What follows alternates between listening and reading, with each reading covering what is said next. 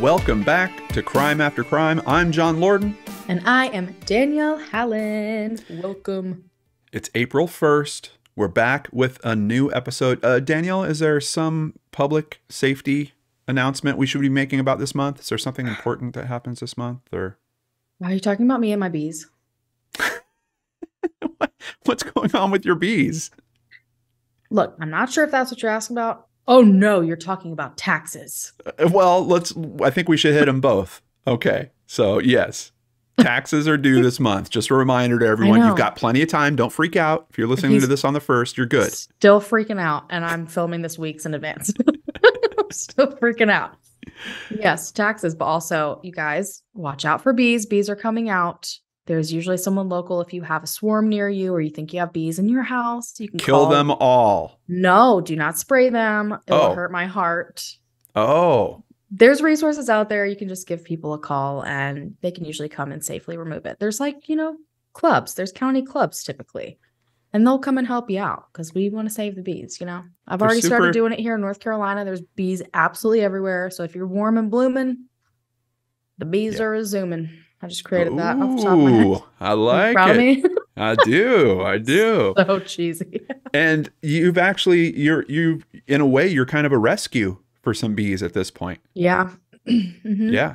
So Yep. one of these hives was located somewhere and it was brought to Danelle and Mhm. she's she's taking care of that queen and Yep. and all her little We drones. nine in last year. And that's just us. And there's multiple people in the area. So this is Wow. a very common thing. And I just feel like people don't, they're not aware, you know, and they don't know what's going on. Yeah. They kind of see bees and freak out and want to get rid of them. And I understand that. But just saying, hey, guess what? There's people like me out there that rescue them. yeah. And we know bees are important to the environment and pollination and all kinds of Mhm. other stuff. So take care of those bees. I, I didn't know anything about it, guys. Like this is all new news to me too, but I know it's important and I wanted to share it with you guys and let Danelle get out her public safety message for the Mhm. bees. So, And also taxes, which is gross. But yeah, and yeah, the gross, that's the gross thing. That's, That's what we should be looking to kill. Yeah. the tax. Um, all right. I think we should get right to the results so we could get to. I'm really excited to go back and revisit World's Worst Alibis. But Oh, first, yeah. first, we got to see what happened with the results for our last episode, which was Law and Odor, where we dove nose first into some of the smelliest crimes ever. Danelle told the story of a first class airline passenger who wanted to prove he actually had no class Hmm. by Which he did very well. He sure did. He was crapping on everything, Danelle. Yep. It was ridiculous. And I told the legend of B.O.B., the B.O. Bandit, and how that name has been used throughout the years. How did it all play out, Danelle? Well, I should say, how did I win? Well, John, on the Yes. Twitter poll, Mm-hmm. I received 81% of the votes. Oh, what? Are you reading that right? rece- yeah, you received 19%. What? And then on the website poll, I received 84% of the votes, and you What? received 16%. What? What? It's like I didn't show up. I think I No. would have the same score if I just sat there silently for 10 No. minutes. that is, look, I'm just saying that is, uh, those were some crazy stories, but I don't think anyone is going to be able to move past the fact that a man just full on pulled his butt out in front of everyone on an airplane and took a big crap. That's true. Like, That's I don't true. think there's, Well, and to be fair, oh, I, I did. I did think about it, and Yeah. in a way, I felt like I was cheating, and ultimately, I wound up cheating myself out of the victory because I, I was telling multiple stories. oh, I thought it was great. I thought it added right to the fun of it. Yeah, but you know, typically we focus on one case. Like in in hindsight, looking back on it now, I might have done things differently, especially knowing that I'd only get sixteen percent of the votes from the website. I'm telling you, but still, I don't think most of that's on you. That man was just a character. It's true. It's true. It's true. He uh he was amazing at crapping on things in an Oh airplane. so yeah. how how could I have competed with that? Today, the topic suggestion came from you guys out there. Mhm. You wanted us to revisit the world's worst alibis, and here we are. Now, I think many of us consider that a solid alibi is a quick way to get removed from being on a list of suspects in any criminal investigation. But does not being able to remember or being able to prove where you were really point to a guilty person? Well, a 2017 research article titled The Illusion of the Perfect Alibi was published in the Journal of Investigative Psychology and Offender Profiling. Now, this research study tried to understand just how easy it should be for someone to have a true alibi and the evidence to support it if they were indeed innocent which is a good like it's interesting they would think Yeah. about trying to get a baseline on the mm-hmm. tr- the truth of an alibi. Like would it, Exactly. would a general person be able to prove that or first of all remember and say Yeah, I was at this place but then be able to prove it. So they took over 800 participants of varying ages which I love. They didn't just focus on like you know college Yeah, because lifestyles are so different. yeah, well, and it happens a lot in mm-hmm. these in these studies where they'll focus on a particular group. They knew what they were going for, so they had people ranging in age. I think the youngest was I think it was 18, up into people in their 70s, Yeah. and they essentially accused these people of a fake robbery that happened in one of 16 different time frames that was spread out on either Tuesday or Saturday of the previous week. Which once again. I, I just the Yeah. thought they put into this is amazing because they're Like thinking, okay, also weekend. yeah, Mhm. yeah. Um, how many people had an alibi? Nearly all of the participants were able to report where they were 99.5%. But of those people who had an alibi, only 25% had physical evidence to support it. I feel like that would be the group I'd be in. Like, how do you prove just sitting at your house or Yeah, yeah. knowing where you were? I'm also kind of impressed by that because sometimes I'm like, what did I do yesterday? I, I know, and even though they're talking about just the previous Yeah. week, which I think is definitely skewing this result a bit, Mhm, I but agree. I mean, also think about like a criminal investigation. Like if there was a real robbery and if you were a true suspect, they're probably going to be talking to you, you know, within a week. Pretty within- quickly, with- Yeah, a few weeks, at least for your initial interview. Uh, so of those people, 90% of them, of the people that had their alibi, 90% of them had a witness to actually back up their alibi. And 63% of them actually had two or more witnesses to back them up. So you being at home, Danelle, Mhm. as long as you're there with your husband and your kids, like you've got several witnesses. When a participant wasn't able to provide any evidence to support their alibi, they were usually at home alone, Mhm. to your point. Man, now when it comes to the physical evidence, the most common type was a receipt. However, which this is interesting to me, receipts are considered the weakest form of physical evidence for an alibi. Only 7% had the strongest form, which was obviously video recorded evidence. Yeah, it's interesting to me too because I can understand why a receipt isn't super strong because it's, I mean, especially if you paid cash. But if you used a That's a credit point. card, a little stronger. Because they can But- kind of tie that back to, you, but I guess it doesn't necessarily prove that you were the one who made the purchase. Right, right. However, the receipt is basically, in terms of an investigative tool, Mhm. it's the step to get you to the strongest form, which Yeah, you said exactly. s- 7% of them had, which was Mhm. video recorded evidence. Most of those types of interactions where you're going to get a receipt, you're probably walking into a business, and especially nowadays, there's a very good chance that they're going to have some form of camera in there. Yeah. So, in terms of the perfect alibi, most of these backed by eyewitness accounts, which quite honestly, we're getting to a point where a lot of people aren't trusting eyewitness accounts very Yeah. strongly anymore. Mhm. Uh, then receipts, which aren't trusted as much. And then, of course, the 7% that had the most trusted, which was video recording. But keep in mind, this is when people were asked about a crime that happened just the previous week. Ultimately, from this, it sounds to me like alibis are really easy to come by and for even the majority of people to remember, Mhm. but very hard to prove. Proving it. Yeah. And uh, how does that play into things? I don't know. I don't know. I wonder if maybe one of these, if all of them, are going to come into play during today's cases. I have a feeling we're going to see some of that happen. And uh, let's get right to it. Let's get to our first world's worst alibi story. No, wait, this is actually the third world's worst alibi story because we're doing part. I'm trying to keep it all straight. Go ahead, Danelle. Just fix it for me. Fix it. Well, I, I don't, I can fix it because I have to say, and I've already talked to John about this, diving into the research, I was like, oh, we had such a great time last time. We were able to find lots of stories. I re listened to the episode and then I opened up Google. I don't know how we did it. I know. I know. I don't know how we pulled this off last time a couple years ago because it is slim pickings out there. It's been absolutely crazy. But I managed to find one and this is a terrible alibi, but it's almost even worse how this woman acted in regards to the alibi. Mm. So on December 1st, 2016, 73 year old Linnea Levy headed out mid morning to run a few errands in her town of Chilliwack, British Columbia. I'm fairly certain I'm pronouncing that right. Chilliwack, I think. Yeah, it's somewhere in there. Chilliwack? I, I Chilliwack. think so. I, I, think like that so. better than Chilliwack. Chilliwack. Chilliwack. She hopped in her truck and first headed to the CIBC bank that sat on the corner of Princess Avenue and Young Road. She made a withdrawal, then began to make her way to nearby Southgate Mall, only a few blocks away. She was enjoying her day. She went to the food court where she had, you know, a nice, quiet, and casual lunch. She was there by herself. And once fueled up, she started to begin her rounds at nearby stores. She visited a handful of different shops around the mall. She went to a UPS store where she had a mailbox she regularly went to check and had friendly conversation with multiple employees. But while this seems like a typical afternoon, just, you know, someone going about their day, just down the road, sirens were wailing. 78 year old Farouk Farouzian was heading out to run errands of her own. Farouk was very well known in the community. She was very well loved.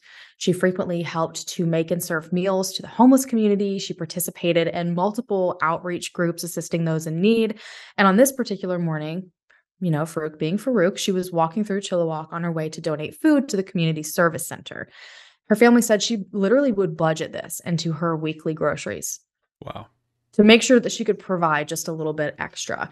And after she made this donation, she was looking forward to participating in a lunchtime conversation circle for new immigrants in the area. So she's just like this very active community member. I think her son said she just started like taking up kickboxing at the at the age of 78. Like she's just, you know, she's getting it. But unfortunately, something had gone very wrong.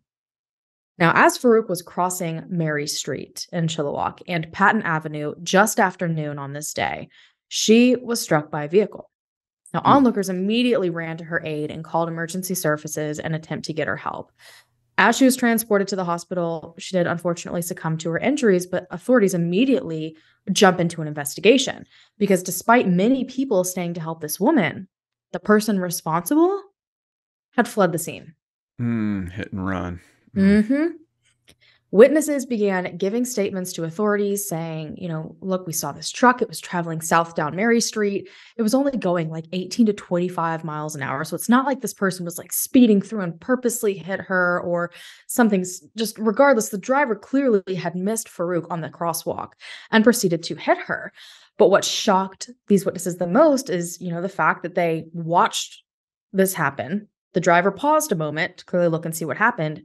And they were like expecting this person to run from the vehicle, try to help, just drove off, Right. just continued driving south. So witnesses watched as the truck turned left onto Ontario. So it's like a block away and then disappeared. So they kept their eyes on this truck. The witnesses in this were great. And while they couldn't believe, obviously, what had just happened, their first priority was obviously to help Farouk. But they were able to give an amazing description of the truck to investigating authorities, a description of the woman that was driving it. One person even managed to jot down the license plate real quick before going to help Farouk. So these people were on top of it. Mhm. There was also a piece of debris from the vehicle that was left at the scene. And so authorities were like, you know what? We've got so much here. We should easily be able to find the perpetrator. Like, we've got this. And so right away, a search for this vehicle began. So authorities put a bolo out for the truck. They began to check all of the nearby parking lots, thinking, okay, maybe someone dumped the car after this because that's something that's very commonly done. Maybe they're somewhere watching to see how we're reacting to what happened, if there's any witnesses talking. And luckily, within two hours, they found the truck. So the truck was in the Southgate Mall parking lot, which from this intersection was about two blocks away, right off of Ontario. Okay. And the truck was not empty. There were two passengers inside. So in the driver's seat of the car was an unidentified male. His name's not ever been released. And in the passenger seat was 73 year old Linnea Libby. So right away, authorities noticed There's damage on this truck and the exact location that witnesses said it would be. And the missing part of the car found at the scene fit into Lania's car like a puzzle piece. Oh yeah. Mm. Oh yeah, they were able to, you know, question the male that had been sitting in the driver's seat for obvious reasons, like were you driving the car? They quickly realized he was not. He was not in the car at the time that this happened. He didn't obviously match the description of the person said to be driving the vehicle. And so he was released and Lania was arrested and held in custody to be questioned. They had her plate, they had her car, she fit the description, she was in the area. They figured that, you know, this was just going to be a simple open and closed situation. They could, you know, get justice for Farouk incredibly easily. But when authorities confronted Lania about the death of Farouk due to this accident that they believed she may have run away from, Lania's like, oh, no, no, no. This is just one giant misunderstanding. Yeah, because oh. that's logical. Yeah, uh, yeah. I'm like, mm, okay. so Lania begins to tell authorities this elaborate story of her morning, claiming that there was absolutely no way that she could possibly be responsible for this hit and run accident because she had an alibi and witnesses to confirm it. Okay. Lania proceeded to tell them that she had been at the mall all morning and all afternoon. She hadn't been out driving in her truck at any point. She was too busy shopping. And she said, You know, I've gone to different stores. I went and enjoyed lunch at the food court. I spoke to various employees, and they can all vouch for me that I was there. And when it came to how her truck had damage and her plate had been recorded at the scene, you're like, okay, how she, can she possibly get around that? She had an explanation. Lania claims not only was I not the one to do this because I was inside the mall shopping, but when I arrived this morning, there was a panhandling woman in the parking lot. And Lania proceeds to say that this woman somehow stole her truck while she was shopping. During the escape after taking the truck, ended up hitting Farouk. Then, in a panic, not wanting to be tied to two crimes, she brought the truck back to the mall and parked it exactly where she found it before then fleeing the scene. Because, you know, it all makes perfect sense. She's innocent that's a criminal genius right there. Yeah. Oh yeah. Yeah. Take the take the vehicle right back. And and did she um unhotwire the car too? Like how did she yeah. start the truck? Exactly. this panhandler, you know, just right. knew exactly how to hotwire a car. Quickly did it. Yeah. And then un- unhotwire it. The yeah. whole thing. Just and there was no evidence of that, you know. Somehow right. did that with not no trace of it. Mm-hmm. Obviously, police did believe a bit of this story. for a handful of very obvious reasons.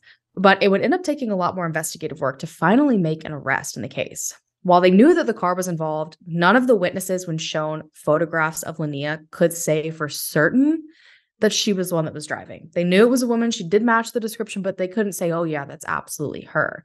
So she personally couldn't be tied to the crime. And we all know just because it's like the receipt thing we are talking about, just because the car was there doesn't necessarily mean she right. was the one driving it. So they had to check into this alibi she's giving that I was shopping, couldn't have possibly done it. It was a panhandler. Well, and you also had this older gentleman that mm-hmm. was in the car as well. Like, was it possible that you know she went to the mall and did her shopping, and he took the vehicle? And yep, uh, yeah, just a lot of questions here.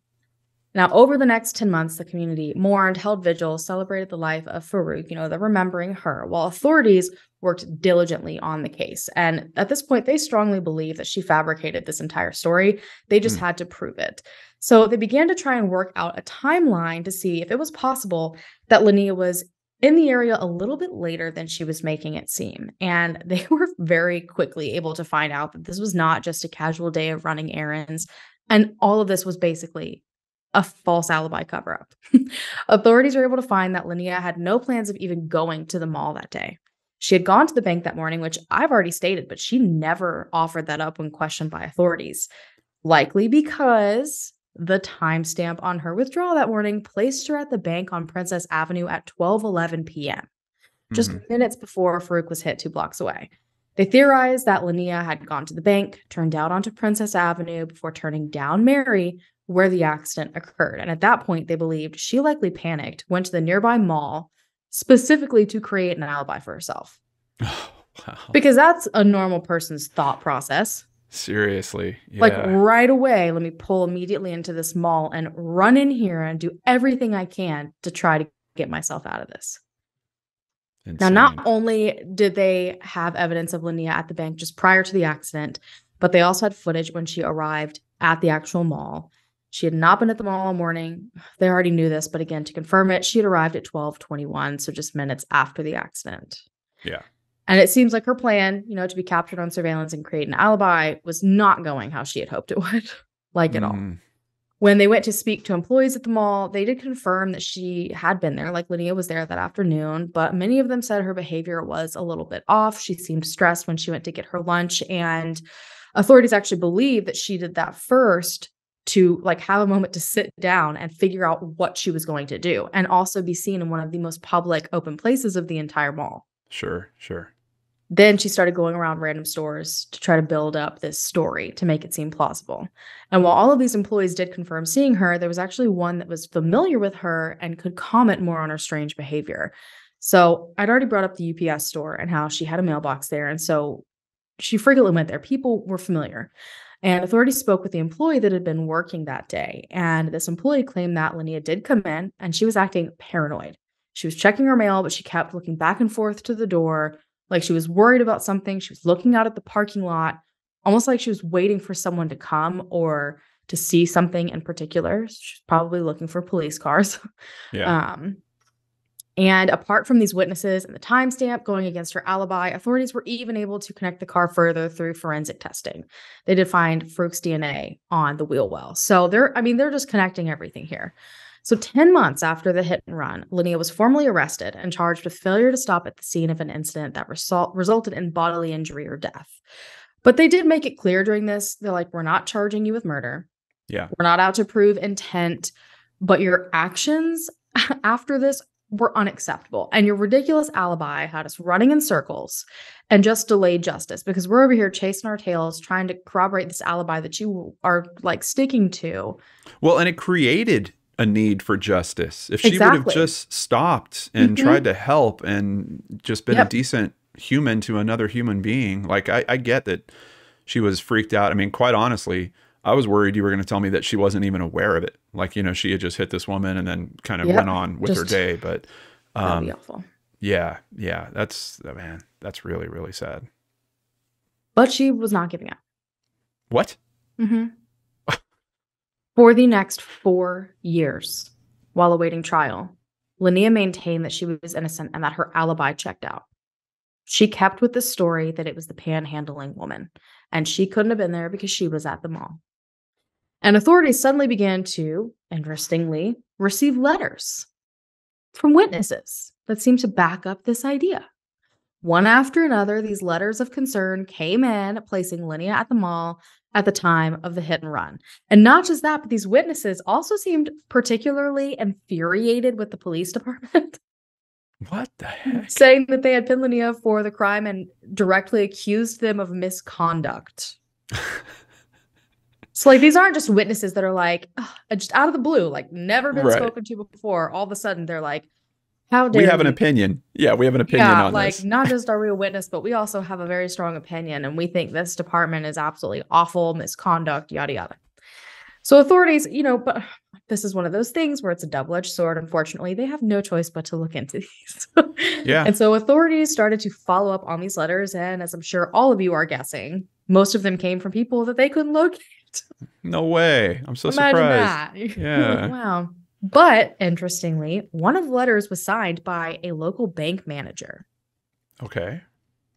Now, there wasn't a lot of information here. I'm assuming it was likely the bank manager of the bank that Linnea stopped at prior to the hit and run. hmm And if that were the case, my assumption would be that the letter would likely say something about how the withdrawal time was incorrect. Hmm. Again, kind of questioning receipts and things like that. Yeah. Um, but authorities are like, "We- we're going to go check this out. This is the only legitimate person we've been able to find connected to these letters. And guess what? Bank manager had absolutely no idea what they were talking about. Oh, she just used the person's name and just sent it in cold. Wow. Sure did. She was like, I did not write this letter. This is not me. It was forged. What year is this? This happened 2016. Did they trace her cell phone?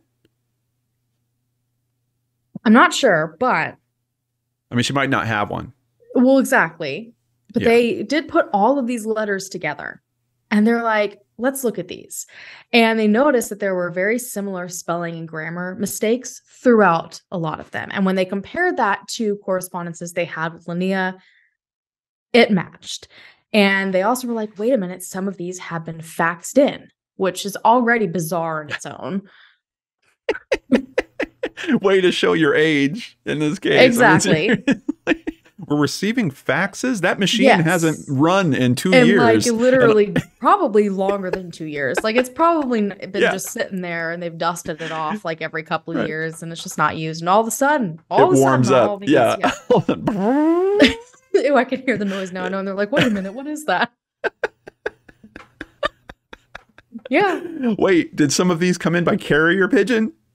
Oh my gosh see letter by pigeon no because that would probably be Oh. me oh my goodness. but Oh. they look at it. They're like, you can trace where a fax came from. They came from frickin' Linnea's house, her home fax machine. yeah, that's a great thing about faxes. Uh, It's been a while since I've thought about this, but they have the number that it- yes, they're there's a coming number from. that it comes from. yeah, stamped right on the top of the page.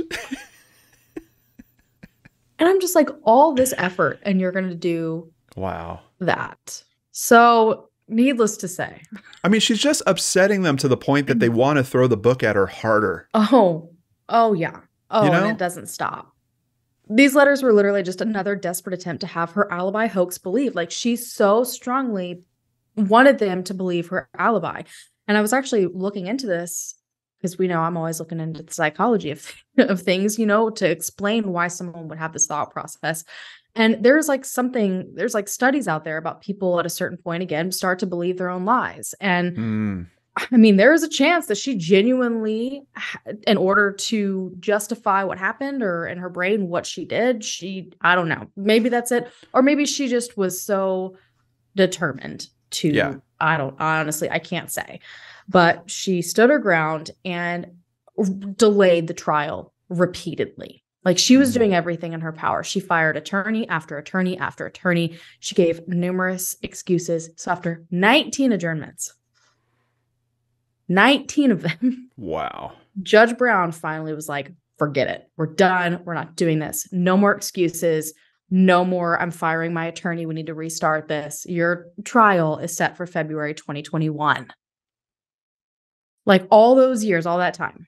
Yeah. And because she had fired all of her attorneys, Linnea showed up to represent herself. Now, authorities were able to provide clear evidence proving that Linnea's alibi was false, obviously, and evidence to connect her to the crime, including four witnesses that were there. Not only had she hit someone and then fled the scene, but she also apparently had been driving without a license, which just like Hmm. sprinkles more chaos on top of it. But Linnea continued her trope about this panhandling, car stealing woman in court. She took the stand herself and retold the same story that they had such solid proof was false. I mean, totally knocked her alibi out, and she was not letting it go. She provided absolutely no solid evidence or proof other than she thought she was right. Now hold on a second. How old was she when this happened? I thought you said she was in her 70s. 73. And this is 5 years later she's sitting on the stand. Mm-hmm. Mhm. She's 78 years old and she's just holding on to this She is. story, representing is. herself, Yep. hmm driving without a license, which by the way, I was going to go on my usual. I Mhm. know you've heard the rant before about how we don't have good mechanisms for taking away people's driving rights at some point. no. Okay. Yeah. Listen, all I have to do is tell you about any experiences I had with my grandmother when she would pick me up from school. Yeah, yeah, exactly. Oh my gosh. But even that doesn't apply here because she was driving without a license as it was. Oh yeah, Wow. she was just doing it anyways. So ultimately, despite her attempts, she was ultimately convicted on April 12th, 2021. And you would think, okay, we finally have justice for Farouk. Okay. She's got to be tired of lying at this point. She's got to be tired of trying to get out of this. Yeah. No. Mm-mm. Do you know what she did? The guilty verdict is read. The judge gets up, leaves. Linnea, Linnea stays and says, um, excuse me, can someone bring the judge back into the courtroom? I'd like to speak with her. I wasn't Mm. done. no. I'm not joking. She doesn't retell the story again, does she? Oh, the judge did not come back. Oh, okay, good, good. no, Smart judge. I don't know any judge that I think that would. Like, I don't Mhm. think any judge in their right mind would go back. Like, everyone has left. Like, you've been found guilty. You are done. You're going to show up for your sentencing, and you can't just be like, "Hello, I don't agree. Come back." yeah. Oh my gosh. Oh, and so wow. shortly after this, she did go to her sentencing hearing. Um, she was asked what she believed her sentencing should be because what she did. And the Hmm. maximum charge for the crime, I believe, is like life in prison, if I'm remembering correctly from my research. And she said, quote, I don't know what an appropriate sentence would be. All I know is I have extreme health issues. And so Okay. she basically is like, I can't go to jail slash prison, wherever you're going to put me, a correctional facility.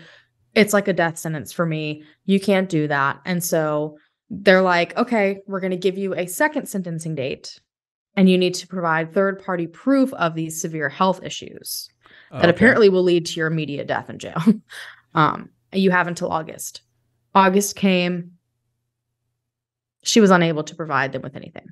Okay. So ultimately, she was sentenced to, she got very easy way out, in my opinion, only two years in Alouette Correctional Center for Women. And they assured her that, you know, you will have adequate medical care there, you know, to manage any of these health concerns that you're Yeah. saying are terrible. Yeah. Um, and then after that, you'll be on probation for two years. There were also multiple no contact orders that had to be put in place to protect the witnesses Mhm. because um, she tracked them down. Mhm. She Mhm. tracked them down and she harassed them and did everything she could, which should come to no surprise. She was just out there doing all she could. She did file an appeal, still holding on to her severe medical issues that she still refused to prove. And the kicker is that she even said that they were they put too much weight into her misleading alibi at her trial. They put too much weight into it. She's like, you focus too much on the fact that I lied to you. Yeah, cause they they focused so much they figured out she was lying. Yeah. Is that- she's that- like, that's- that's she's essentially com- it. She's like, you you Yeah. look too deep into it. Yeah, you weren't supposed to look that deep. You were supposed to just believe what I was saying. and Exactly. Let me but off. this was just obviously immediately shut down. Judge Brown said, quote, the false alibi was not only dishonest, it prolonged and complicated the investigation. So Yeah. this was immediately dismissed. She was told, you have to serve your time. She was like trying to knock it down to nine months instead of two years or like a conditional sentence. I think that like house arrest would potentially be an option, but they were like, you saw what you did to this woman Yeah. and then drove off and you didn't even for a moment like consider what you've done you immediately went to lie about an alibi It like might, immediately started creating one yeah, it might have been enough. You know, halfway through all the grief that she gave mm-hmm. him, like she might have. Yeah. been able to to get some Yep. kind of plea bargain on something like that. But no but yeah. then you're going to send letters from your at-home fax machine you're going and like and and Yeah. not just that you're going to accuse them in those letters of misconduct all to save your own butt and then you're like oh but focused on it too much good that's grief they do. That's yeah, what they do. Big life job. lesson. They did a good. They did a good job. they did. So huge thank you to BC CTVnews.ca, theprogress.com, and Vancouverisawesome.com because what in the good googly moogly was yeah. that? Jeez. Jeez. What a mess, Danelle. It's I I feel I feel bad about it on several fronts. I mean, Oh, yeah. for a person to lose their life Mm-hmm. and in a way she lost I mean, this went on for practically a decade. Mm-hmm. Can you imagine being wrapped up in a legal fight for a decade and the then, thing you know, is, I genuinely think she enjoyed it Yeah. Yeah. to an extent. That's just Right. my personal observation. But Yeah. I'm surprised she didn't go and try to pay off a uh, like a homeless person to say Oh, that they were the one or something. You know, like I just she was Well, pulling out I'm- every other trick. I'm sure this wasn't the only thing that she had been trying. I mean, she was Yeah. obviously getting to the witnesses and trying to get them to be quiet. Like she was doing everything that she possibly could. Mm. Man. Yeah, it's sad. It's sad. Yep. Couldn't do it. I was at the mall and it was a panhandler. Like off the top of your head, how do you create that? Panhandler. I mean, I'm Well, serious. I- like what? I do have to appreciate. I think it's actually kind of smart in a way. Not that I want to Mhm. encourage people to try to commit crimes. No, but and like, how are you going to find viable- a panhandler? No, no, but but the aspect of like, okay, I just conducted a crime of some kind. I'm going to go and start building up my alibi right away. Exactly. And you know, sometimes the time frames aren't so solid.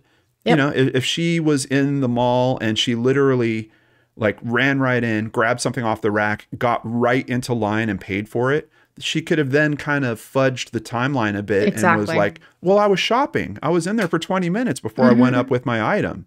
Of course, Yep. now you're talking modern technology and there's cameras and they would see her running in. I mean, there's there's still problems with it, but it's you know, I guess from a, a bit of a different perspective, it's probably not the worst thing to, to, to try to build up Yeah. that timeline as close to the event as you could. exactly.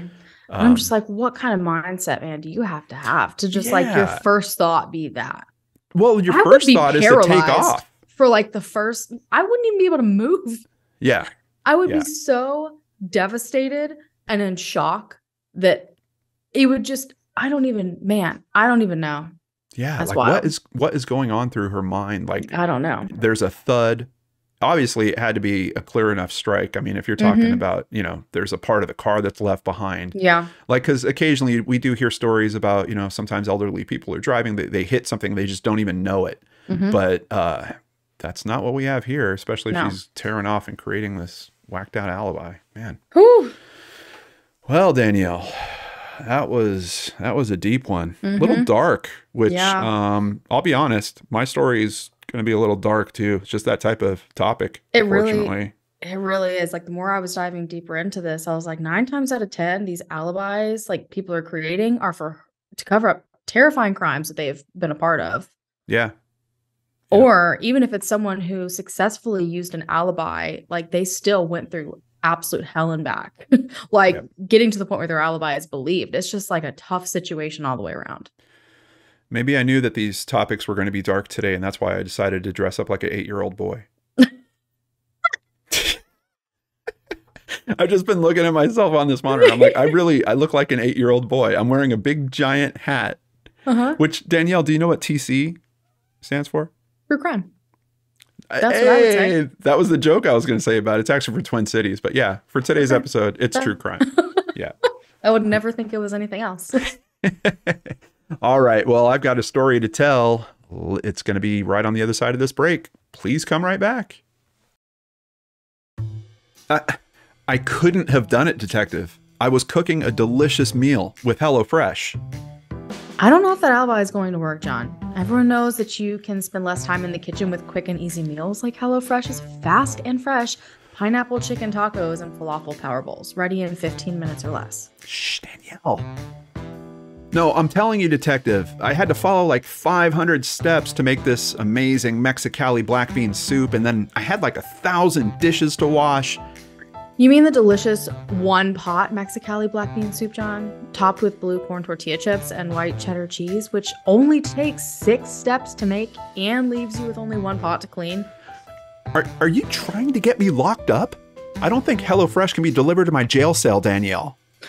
Uh oh. You're just gonna have to miss out on the 40 recipes and over 100 seasonal and convenience items you can order from HelloFresh every single week. Ah, uh, gotcha. Oh, yeah, no problem at all. All right. Well, he was a good detective, Danelle. He knows that HelloFresh is cheaper than grocery shopping and 25% less expensive than takeout. Plus, when you go to HelloFresh.com slash crime after crime 50 and use code crime after crime 50, you'll get 50% off plus free shipping. The detective knows I had no reason to rob that bank because I'm saving so much money with HelloFresh. They really are the best. Find out for yourself. Go to HelloFresh.com slash crime after crime 50 and use code crime after crime 50 for 50% off plus free shipping. Try America's number one alibi, I mean, uh, meal kit today.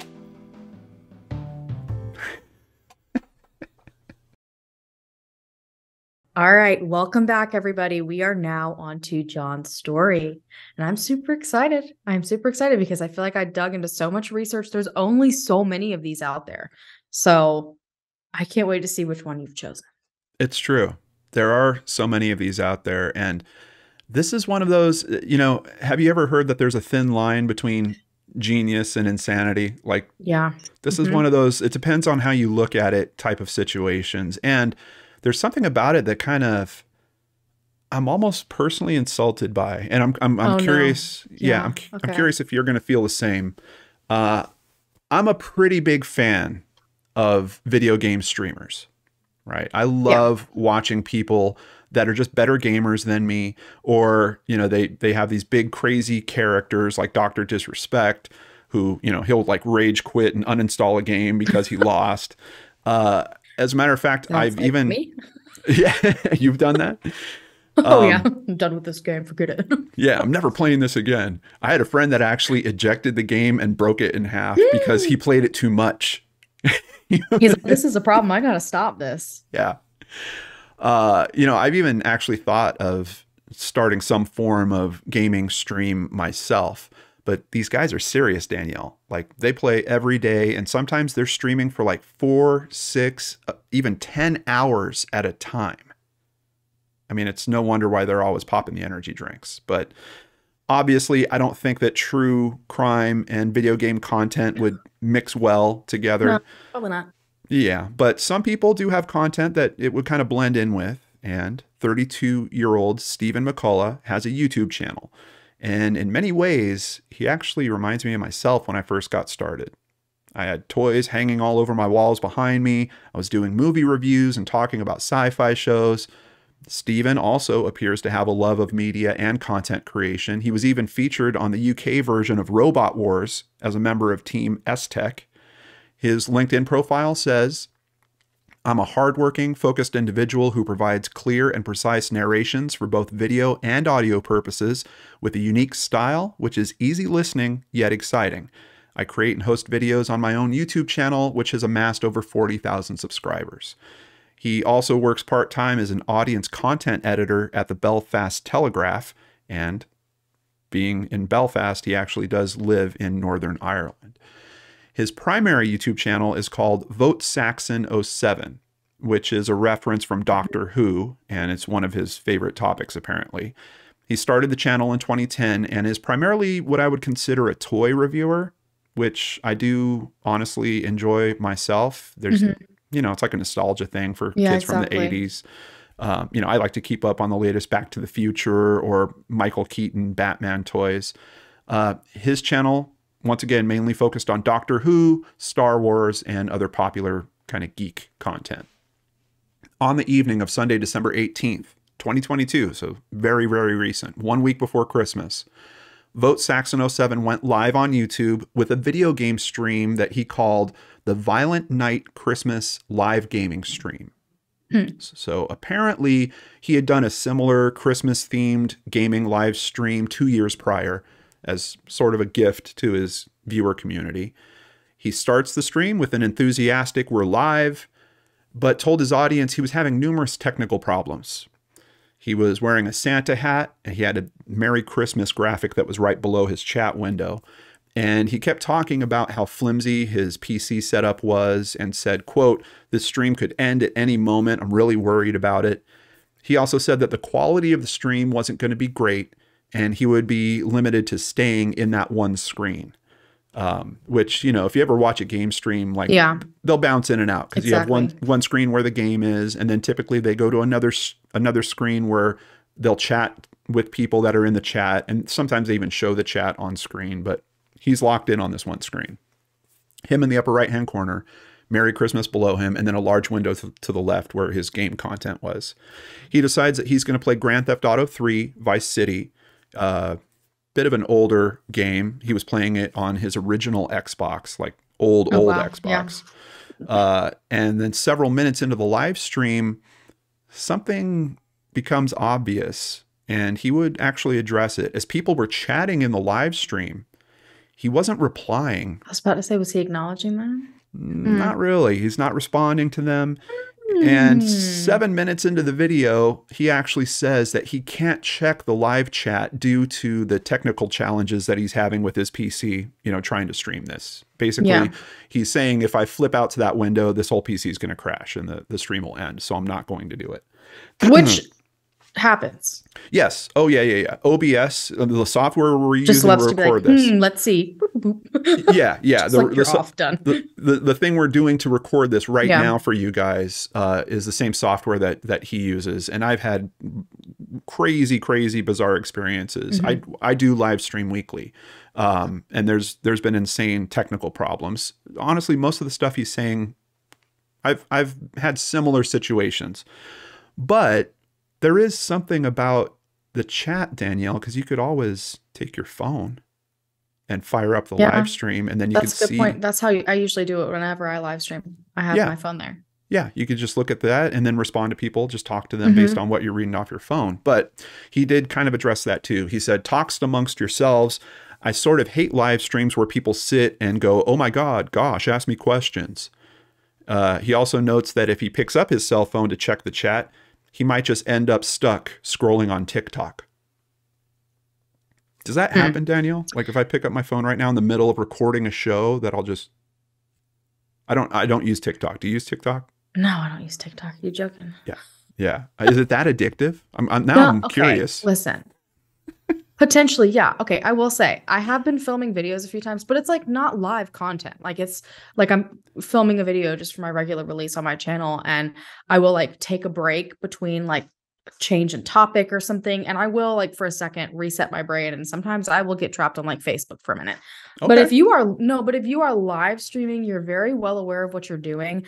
And I mean, you live stream a lot. I don't very much anymore, but I used to do a live stream every single week. You don't just casually forget that you're live streaming and start browsing. Like it overtakes your mind. Like you're very aware of what you are doing.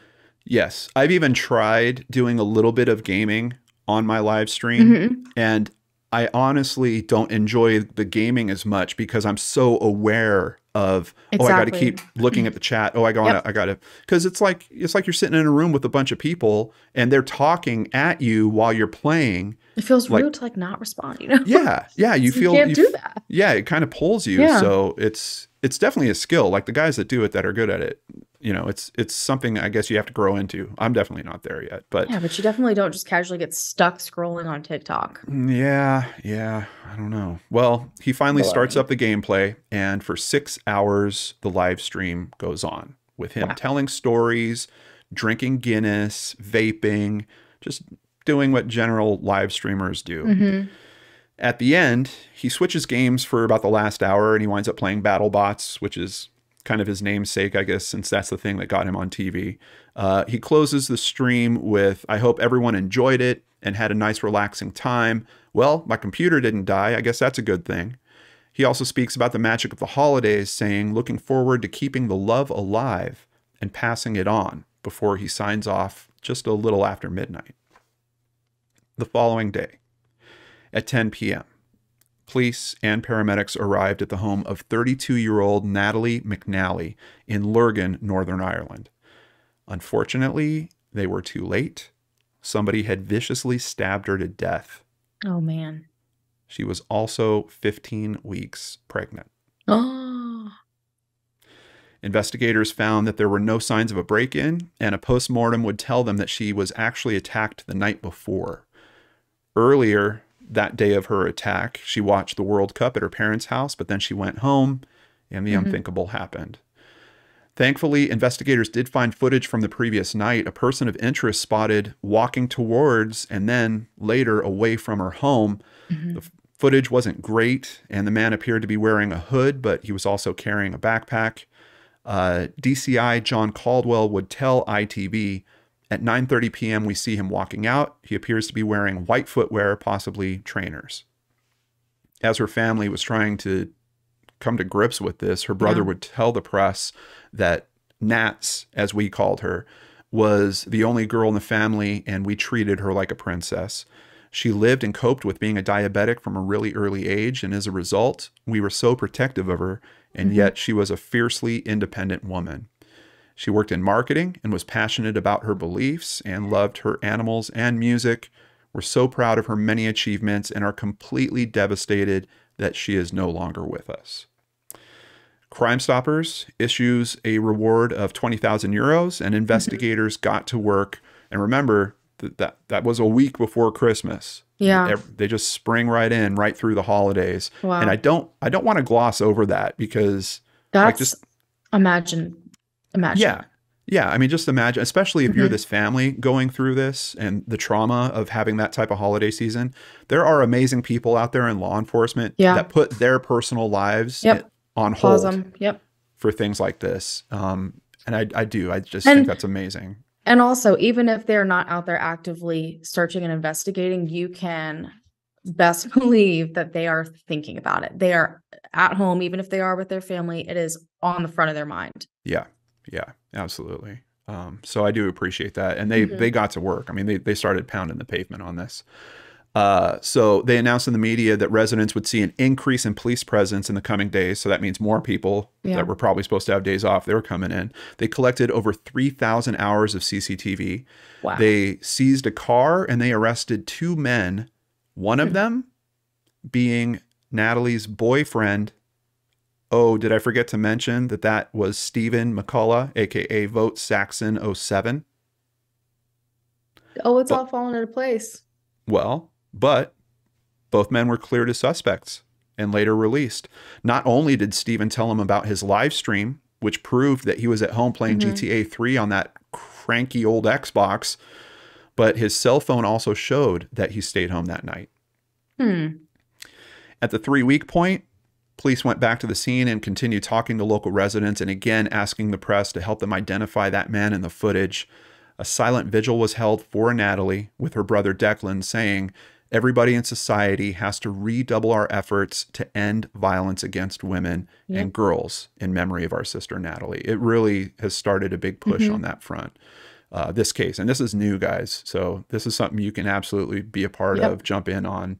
Um, I think that is a really important message, and we should be ringing that bell more. How many of these cases, Danelle?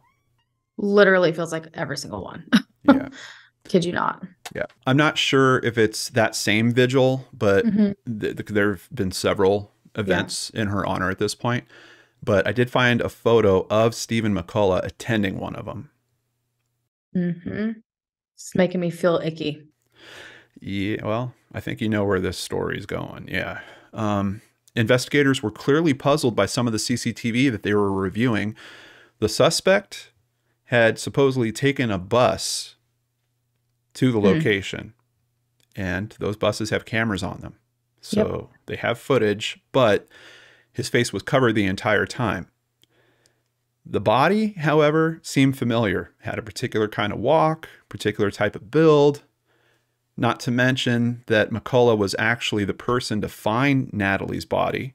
And Mhm. when he when he called it in, he told he had a whole theory on what happened. He told the authorities that her ex-boyfriend had been harassing her.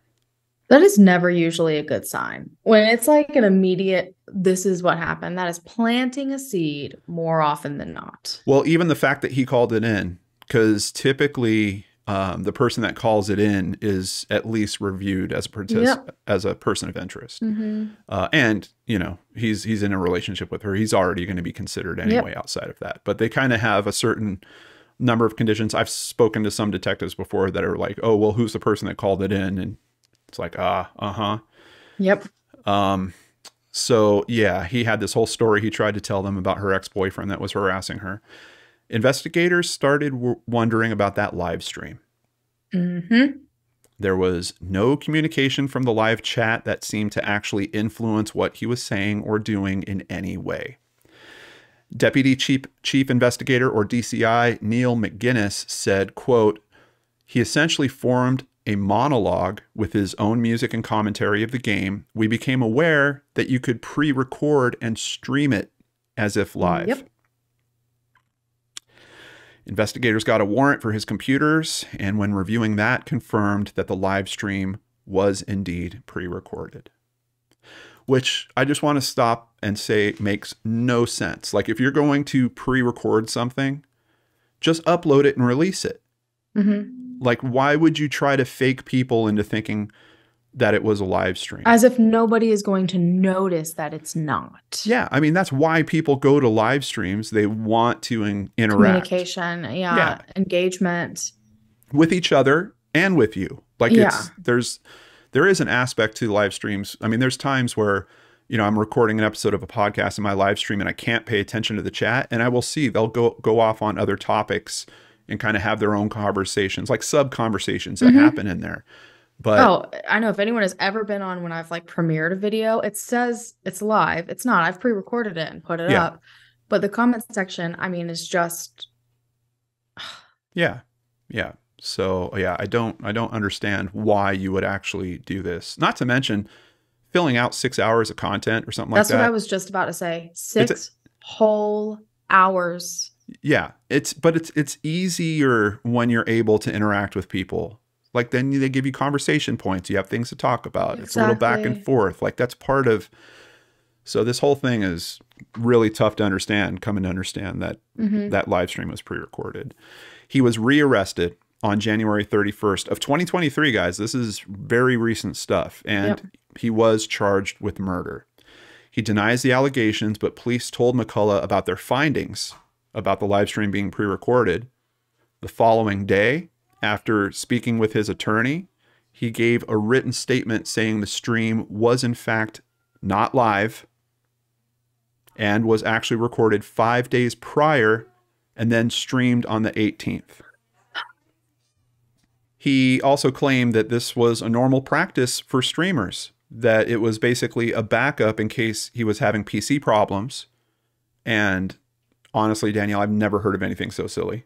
Like I was that. about to say, I don't think people have backup six hours of content just no. willy nilly ready to go where you're pretending that it's a live stream. Yeah, what's the point? Like if you were going to stream it 5 days earlier, just stream it. Exactly. Like this the all difference sounded very baloney. Yeah, the difference in the software between streaming and recording Mhm. is literally a button. A button, yeah. It's one button up or one button down, depending on what you want to do. It makes no sense unless I guess you could go with the logic that, well, I wanted to release it on the weekend because I thought more people would be able to see it. But that's the other thing that doesn't matter. Once the live stream goes up, people that want to watch it after can watch it after, Yep. including this one. It's Mhm. actually still up. And I got to tell you guys, I have not reviewed content where I was feeling sick to my stomach in a long time until I was watching parts of this live stream. But uh so he uh, did have his lawyer kick in that statement. They do basically admit that it was recorded, but he's coming up with this excuse and saying that it's a normal thing. It's not. I'm not aware of anyone that does Mm-mm. this. No. Uh, he, but he does also say that he was still at home at that time, though, that he was basically drinking and he fell asleep while the recorded live stream played. And this live stream went from like 6 p.m. till just after midnight. Investigators believe that he started the live stream, then took a bus to his girlfriend's neighborhood, Mhm. killed her, changed clothes there, then hijacked a taxi that was actually meant for someone else. Like he got in front of a pub and someone had called for a taxi. He jumped he just in. got and- right in. yeah. and said that was me. And when the taxi driver wanted to take him to a different place, he's like, no, no, no, plans changed. My mom's not feeling good. I need to go over here. Whoa. That's thinking ahead. That's yeah. like kind of crazy. Well, and I'm also wondering if he was worried about like running out of time. Like Mhm. if if he was worried that the live stream was going to run out of tape before he got back. Yeah, exactly. Um, and they did investigators did locate the taxi driver who actually dropped off this Mhm. suspect. Yep. But he he happened to drop him off right in front of Stephen's home. oh, convenient. Yeah. And Danelle, everything about this case wasn't already terrible enough, in between this time, like when when he was first checked Mhm. and released, he went to Natalie's family's home after her death, supposedly to visit with them. Which is already weird because he had only met them twice before. Him and Natalie were only dating for about four months. I was about to ask that. Like, what on earth? Like, Yeah. what, was this like? Yeah, no, they they they started dating in August. Uh, so yeah, they were only dating for months. He had only met them twice, but he decides he was going to go to their house and and be supportive of what was happening. He leaves the home, but then oh, he has to come back an hour later. Danelle accidentally left his phone behind. You know why? Because he was recording their conversation after what? he left. Yes, he left his phone recording in their house to see if he was a suspect. At least that's what the investigators think. He took his phone home. He copied the audio file from his phone to his PC so he could also review it there. Now, I have no words so far. Like literally none. Seriously. Seriously. And it honestly, there's something about this case. The term ego just Mhm. comes out so strongly in it that it's even got me kind of doing like a check on myself. I'm like, wow, am I this kind of jerk? Like, it, I know that there's something about people. Hey, we want to be on YouTube. We're putting our faces out here. I get it. There's something in our personality where we're looking for something from other people, acknowledgement, whatever. Um, but the the lengths that this guy is going to, I mean, it's extreme. Like, it's not just simple to sit down and, I mean, this is a whole laid out plan of Eh, him sitting down, faking an entire six hour live stream to pre record it, thinking Right. of all the logistics of it and what are people going to say. And, like, just saying, as a YouTuber myself, like, that's a lot of bases to cover because people can be all over the place. And he seemingly, like, thought of almost every single thing that someone could say, down to look at it on your phone. And, yeah. I mean, just Well, and that's where Whoa. that's where I think we need some analysis on this, right? Because I know we're Mhm. supposed to be looking for bad alibis here, and some of you might actually be thinking this is super planned, like very well thought out. But was it? Because I know that some f- people can feel like people in social media can be a, be- a bit egocentric. Mhm. But what's the point of a live stream if you're not actually paying any attention to the audience? Yeah, exactly. I mean, particularly when people are donating through Super Chat, which they did on his live stream. Oh God, I would not sleep at night. Yeah. Yeah. No no dono shout outs in that live stream. And while it was smart that he was playing an old Xbox because that's a console that you can change the date and time on super easily. It doesn't talk to the internet. It doesn't go to Oh, I hadn't even thought about that. That's why it was the old Xbox he was playing. I'm, I'm almost 100% sure. There's no tracking on it. Plus, he was playing Grand Theft Auto 3, which didn't really have any integration with internet servers. Yeah. Like like nowadays, some of these games, even the games that are single player, sometimes they'll have elements Mhm. of the game where another player can even if just their score shows up on your scoreboard or something like that there's an internet tap that happens there and of course Mhm. there's a timestamp with that grand theft auto 3 there's no integration with the internet you could play that completely offline um, so yeah but the thing is despite how smart those steps are Mhm. the dude names the stream the violent night christmas gaming I had stream totally, totally forgotten that he did that. I remember like when you said that, I was like, "That's weird. Why?" yeah And it's not. I mean, well- GTA. I mean, there's like a violent-ish element to it, but it's not like the main. You know i mean the way he was playing it, depends how you play it right Yeah, it's very know. true, and you can kind of go whichever way with it. Yeah. Yeah. And I'm, I'm telling you guys, I didn't watch the whole six hours. I watched too much of it. Like if you watch Mhm. 30 seconds of it, you're going to feel like you've watched too much of it. The entire first 10 minutes are just one obvious excuse after another, trying to explain away the problems and cover up the fact that it's actually pre recorded. Yeah. And there are other problems just inherently, like he's not actually a regular live streamer. It had been at least a So year s- this is since his last one. yeah, totally one off. but it's kind of Yeah. like, oh, that's weird. Why are you doing that? Yeah, well, and even since his last one that was a year prior, it wasn't a video game live stream. It had Hmm. actually been two years since he had done his last video game. Oh yeah, that other Christmas Yeah. holiday one. Yeah. Right. Also, someone trying to pull off something like this probably thinks like they're some kind of genius. And of course, some of those guys can't help but add little winks about how smart they are. Right? Yep. Uh, he was cussing in the game at one point. He had this mission that was going horribly wrong, and he was saying Mhm. the F word over and over. And all of a sudden, Natalie's name just becomes part of, of him cussing. Yeah, What? yeah. And then later, he discusses how it's going to be a really good Christmas, and he's got this really bizarre grin on his face while he's saying it. He oh, also, I'm so thoroughly grossed out by this person. yeah, he went on this whole rant about how police are understaffed in their area and how criminals are getting away with crimes regularly. It's like he just couldn't help himself but to run his mouth. He had to say something. He had to get something out there to make him feel satisfaction. Oh, but he justified that one by saying he does his crimes in video games. That's why he was playing GTA 3. And probably the craziest thing. In what he claims was some kind of technical glitch, he did have another screen that would come up for him to go take breaks occasionally, Oh, about once an hour. Okay. Oh no. He came back from one of these breaks, and all of a sudden, a James Bond poster pops up on screen for the movie titled No Time to Die. And then the poster Mm. disappears, and he comes up with this excuse about, oh, that was weird. Why did that poster show up? Oh, it was from some other thing I did before. So, what in the world, John?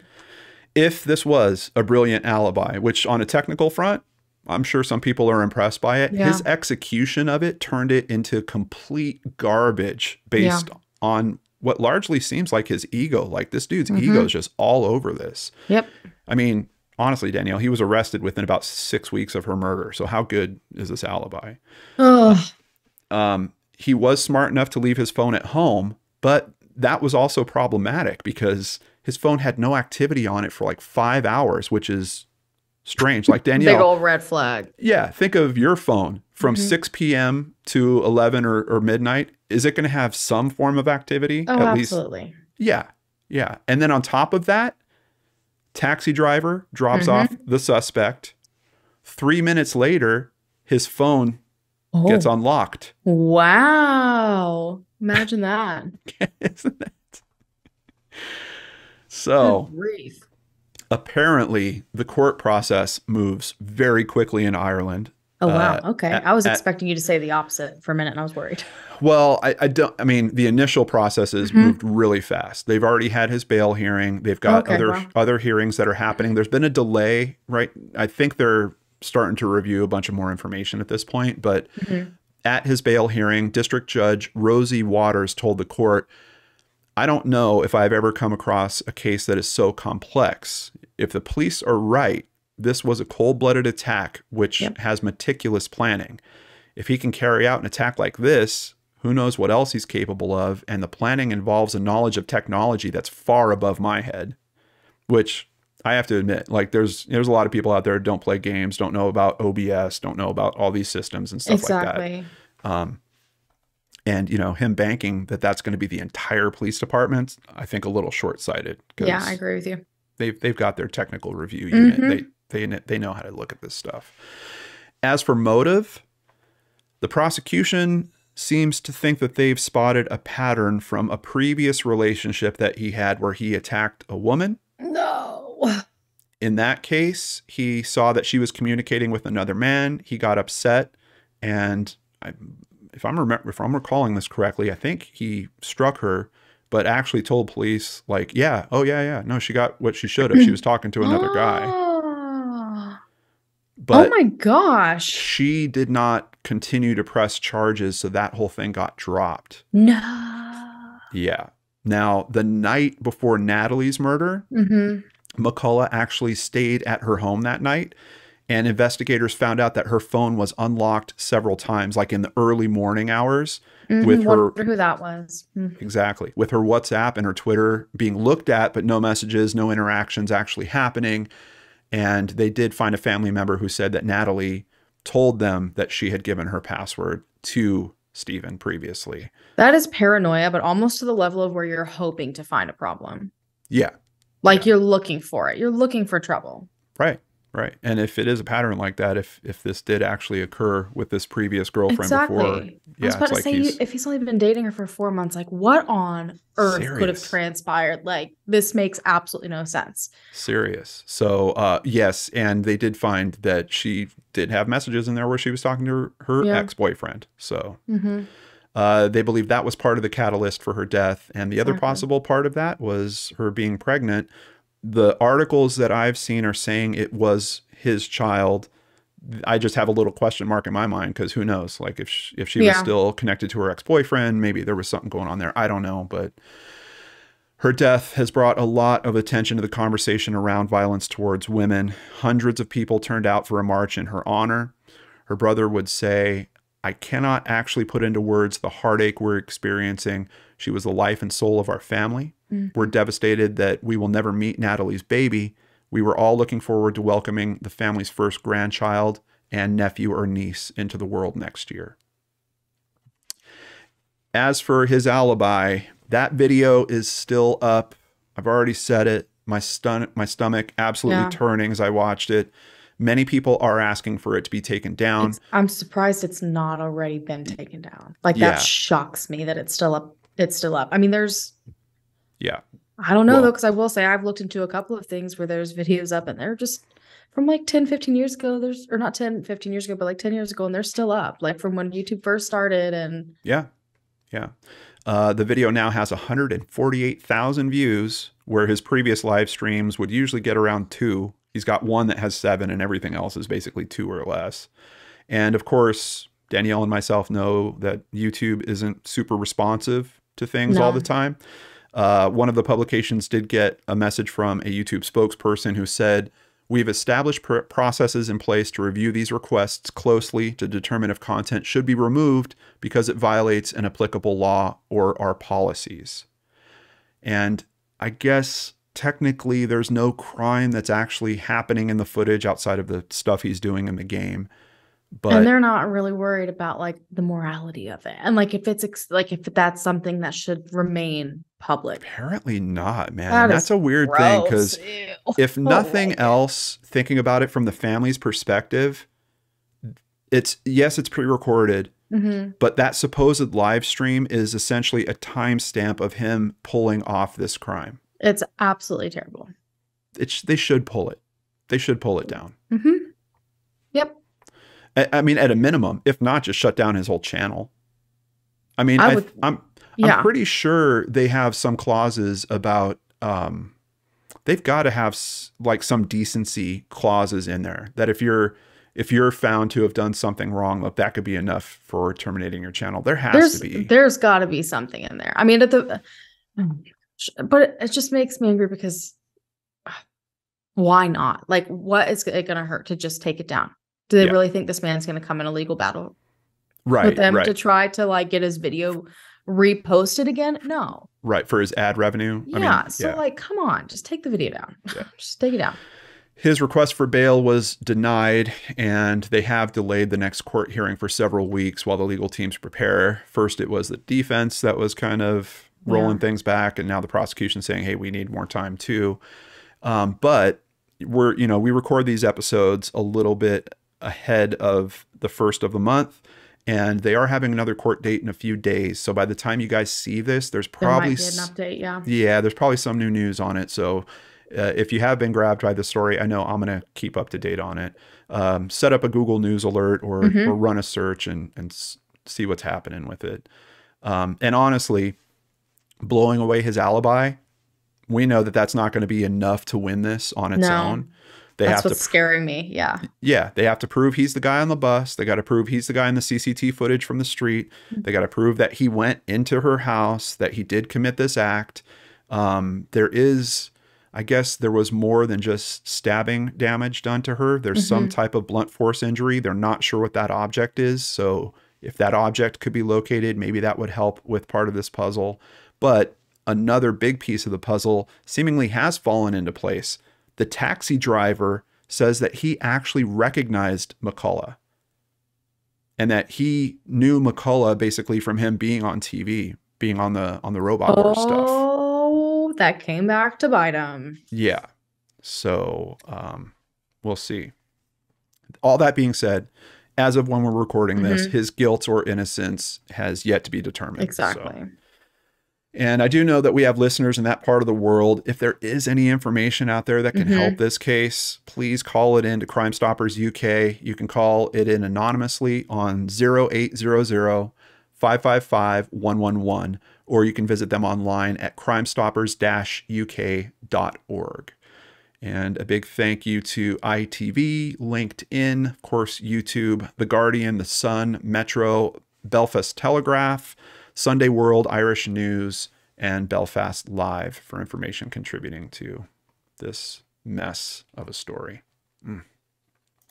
I mean, I feel like the level of effort that went into both of our stories to create an alibi is Yeah. so wild to me.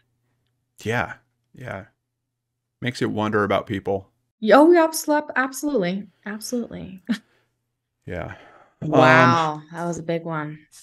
Both of us. Yeah, Yeah. I think we both were. I think we're running a little long on this episode. Um, but as always, hmm we did bring extra stories, and I think we need some kind of palate cleanser Yep. off that because these Something. stories did go dark. Yep. Um, I have two, and Danelle has one, so I'm going to go first, and then uh, we'll we'll take it from there. What if you have the perfect alibi, and you just don't remember it? Well, that happened to Ladondrell Montgomery. He was accused of armed robbery. There was an eyewitness that identified him, the clerk Mhm. that he actually robbed. There was surveillance video. There was a conviction, and Ladondrell wound up getting a sentence of life in prison. Wow.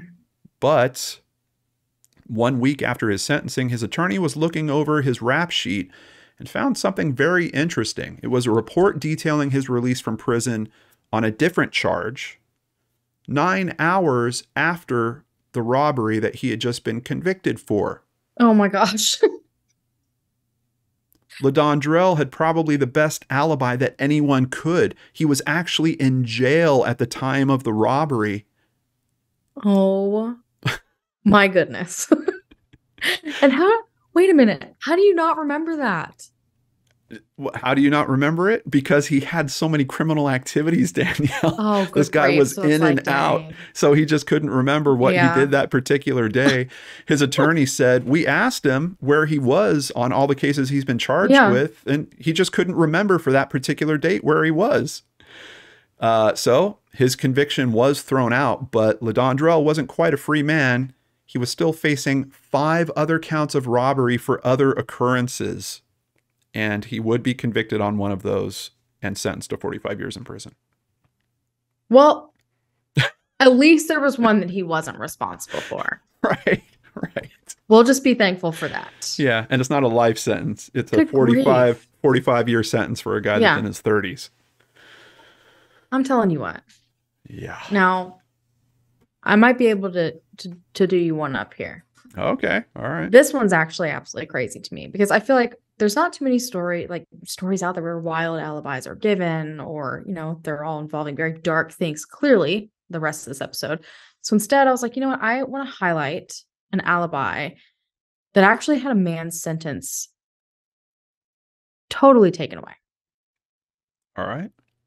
40 year old Richard Rosario had been charged with the murder of a 16 year old boy in the Bronx in 1996. And at the time, Richard was 20 years old, and this young man was killed like broad daylight, middle of a street. Okay. Despite no forensic or physical evidence, somehow Richard Rosario was convicted. There were apparently a couple of eyewitnesses that were there, watched this go down. They said they're pretty sure it was Richard.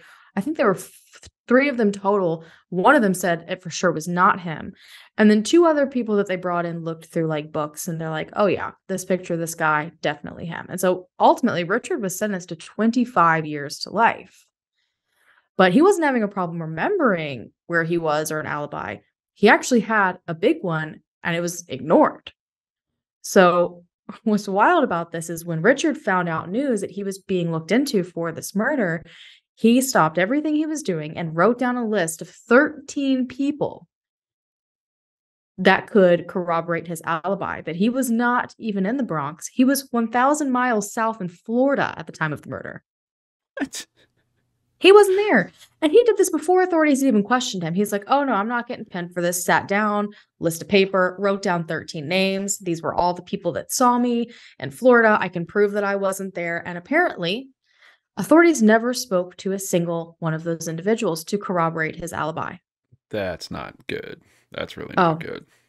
What's even better is the fact that he had court appointed attorneys. Yeah. Do you think they looked into it? Oh, come on. Yeah. Now, they did one better, and they did bring two of those individuals that were technically in this list to testify. And Mhm. these two had actually been the couple that Richard had stayed with while down in Florida. And they did. They were like, he was in Florida. He was literally staying in our home. But remember how we talked about how people don't sometimes believe what close friends and family and whatever I have to say? It was not believed. They were deemed unreliable until 20 years later. in 2016. Yeah, you heard me right. 20 years later, his sentence was vacated. But they were like, we are aware that you had the this alibi. It wasn't looked into. It should have been looked into, but we plan on doing a retrial. We just have to dive into this evidence first. Like they still were so sure that he was responsible. He was exonerated. Every single one of those witnesses that they could have had a five minute conversation with 20 years ago remembered and were fully able to say that he was for a fact in Florida. Wow. And so he was exonerated all these years later by this alibi that he had this entire time that no one had looked into. After 20 years, 20 years. He was awarded $5 million. he was almost going to get paroled. Yeah. Probably. uh-huh. He was on about- it 25 to life. Yeah, it was 25 to life. He was up like around the corner from, you know. Yeah. um, Wow. Wow. So absolutely wild. How do you have an alibi like that? And, you know, from the beginning and somehow it's just not looked into. Yeah, I I mean, mean- I've I've heard bizarre stats on like you know how much time public defenders get Mhm. with the people they're working with. They get like no time, but Oh, I mean, I can imagine. But if that's what the entire there's no physical evidence, there's no what what are you arguing about then? If you're not Right. arguing about the alibi, which is the one thing you seem to have, like if there's nothing else to argue about other than these witnesses that are saying, "Oh yeah, we think that was him." yeah, You would think they would have pulled out every stop possible. Yeah. And somehow Well, it just didn't happen. twenty years of your life, I'm pretty sure someone's going to get some type of settlement. Mm-hmm. Yep, he got his that. five million dollars. Oh, he did. He sure Yeah. did. And he actually like has become very public about this and he's like standing up to the issues within the Justice Department because he's like, yeah, you literally screwed over two people. Like me, you put me in prison for 20 years and two, that victim. Like he someone's out there that did this to him and you didn't even catch him. You didn't even you focused on me. So wild. But how crazy is that for an alibi to pull through 20 years later? It's insane. Insane. Mm. All right. Well, we're going to end this with one that's this is more of a terrible excuse than an alibi. Which, is what you typically see on the internet. Yeah, when we look at the lists, Yeah. I remember when we researched it the first time, we ran into the Mhm. same thing. It was like, wait, these lists are actually excuses. They're not They're alibis. not But alibis. so I'm going to throw one in just for good old time's sake. A man in Framingham, Massachusetts, was walking his dog when he saw a car driving fast in the opposite lane. It was a 30 mile per hour zone, and the car was clearly going over 60. The man waved his hand, trying to signal the driver to slow down. But maybe the driver thought the man wanted a ride Oh, because no. all of a sudden the car was coming right at him. It's like, oh, you need a ride? Hold on, let me speed up. The man, the pedestrian, grabbed his dog and jumped out of the way. The car then turned around and made another run at him, Danelle. Oh no. The police were called.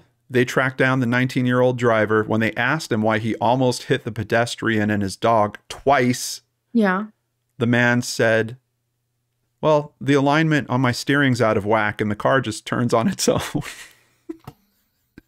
Listen, if your car's alignment is so bad that it pulls U turns randomly, yeah. there's a big problem. Yeah. And I think you're still responsible. How about that? Yeah, you're still responsible. And why you would ever think that that's an acceptable excuse? Oh, it's just my alignment. Yeah. Yeah. Oh, goodness. So he was arrested and charged with assault with a dangerous weapon. As he should, because I would love to know. I would love to know the truth behind that. Like, what were you just for fun? Like, I did run into some other details on it. I think on the second pass, he actually was running up on the guy again and and slam like slammed the brakes, like stopped the car, and yelled something out the window about like meet me back here at ten. Was like- he trying to fight people? Yeah, like he wanted to fight. Which makes the excuse about the alignment even weaker. If it was your alignment, why'd you tell him to come out? Like, meet? Right. How about that? Like, why are you Yeah, trying to no. fight people? No, I And meant like, come. "Oh, no." I meant meet me here at ten so you could fix my alignment. Yeah. I'm sorry. I thought that the gas pedal was the brake. Like, what? Right, We could just keep going for days on that one. Oh my gosh. Well, Danelle, who's a gonna win this? Who's gonna win this month? I know. I, I feel exhausted. Honestly. Who is going to win? That's a good question. Because that was rough all the way around. Both of those were Mhm. absolutely terrible alibis with like so much thought put into it. Yeah. to cover up someone's actions. That's absolutely crazy. But it's not up to us. It is up to you guys. You get to vote on who told the world's worst alibi story. And you can vote for the first seven days over on our Twitter account at Crime After Pod, or can also head over to www.crimeaftercrimepodcast.com and vote there. We also always have a link in the description box down below. And if you're watching on YouTube, you can click the little letter I in the corner and take you there as well. That's right. At crimeaftercrimepodcast.com, you can find all the links you'll ever need, including where to find more content by Danelle and myself, how to join our Patreon, and shop our Teespring store. And a huge, huge thank you to our patrons. We do a bonus Patreon special segment monthly. It is so much fun, you guys. We played Would You Rather today. You will love it. Plus, patrons get a personal shout out in an upcoming Patreon special. Don't forget, you can come and meet us, plus attend our final episode. Danelle, um, if my voice, I'm getting emotional. You're, I was about to say, don't cry, John. It's okay. Too emotional. I think we have we have six left. We have six episodes left, with it Wow. all ending at CrimeCon Orlando in September of 2023. We really want you guys to come and meet up with us for this big finale. It means a lot to us. And if you're Mhm. wondering how to get your name on the guest list and also get a bunch of free crime after crime swag, which if you've ever been to CrimeCon and see the stuff John hands out, it's great. Just saying. Visit crimecon.com and buy a standard CrimeCon pass today using the code crime after crime with no spaces. And then email your receipt to crimeaftercrime at lordanarts.com. That's crime after crime at L O R D A N A R T S.com. The sooner the better because we do have a limited number of seats and swag, and you don't want to miss out. And of course, we're going to be back next month with a brand new, fresh topic for all you guys. This is one I'm really excited about. Great suggestion from several of you Mm-hmm. Aussie crimes. Buckle in. Yeah, yeah. What do you got for us, Australia? I'm looking at you. We're going to check out your crimes. It's going to be interesting. I'll tell you that. I've already said I've only covered a couple of things that have happened in Australia. So Mhm. we're, we're, we're going to see. Oh, yeah. This is produced and hosted by myself, Danelle Hallan, and the amazing John Lordan. If you enjoyed today's episode, please rate or review us on whatever platform you found us on. And have a great month. And we'll see you next time on Crime After Crime. Take care, everybody.